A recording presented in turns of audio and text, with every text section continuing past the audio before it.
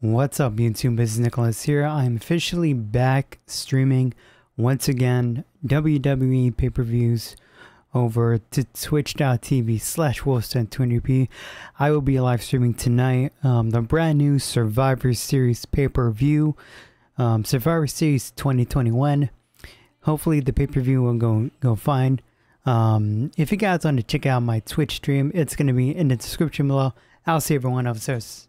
I'll see everyone over there. So take care, be safe, have a good day.